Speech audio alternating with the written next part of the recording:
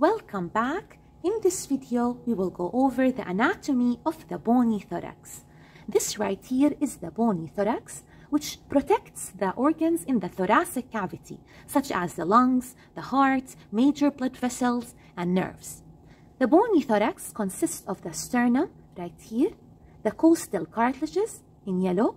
What type of cartilage do we find here? Hyaline cartilage. Also, it consists of 12 pairs of ribs. Don't forget about these two ribs right here. This is rib number 11 and 12. Also, it consists of 12 thoracic vertebra. The ribs articulate with the thoracic vertebra on both sides.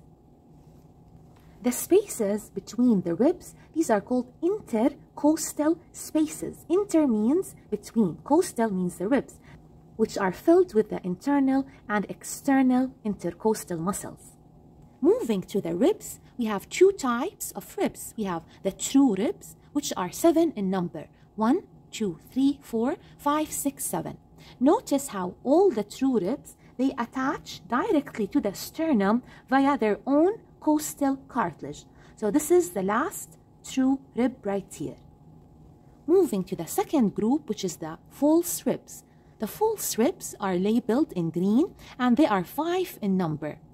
We have one, two, three, four, and five. Notice how these three ribs right here, they share one costal cartilage and they attach indirectly to the sternum via this costal cartilage. Whereas these two ribs right here, which are not attached to any costal cartilage, these are the floating ribs. We can see them on both sides. The major function of the floating ribs is to protect the organs in the lower part of the thoracic cavity, such as the kidneys on both sides. Right here, we can also see the two floating ribs, which are labeled in orange. I hope you found the video helpful. Hit the like button and check out my video on the anatomy of the sternum, anatomy of the ribs, and the anatomy of the thoracic vertebra. See you in the next video.